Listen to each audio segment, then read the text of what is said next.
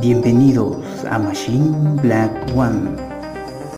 ¿Por qué alcanza un valor tan alto de 60 mil pesos como precio mínimo una moneda de un peso del año de 1969?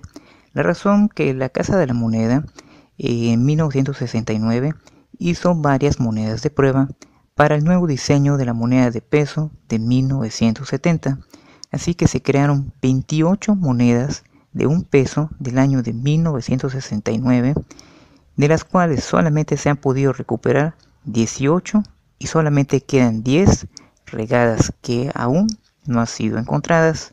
Entonces, por ese alto grado de rareza, de que solamente faltan 10 para ser encontradas de un total de 28, por eso toman ese precio de 60 mil pesos y en una subasta se vendió una hasta por 110 mil pesos. Thank you.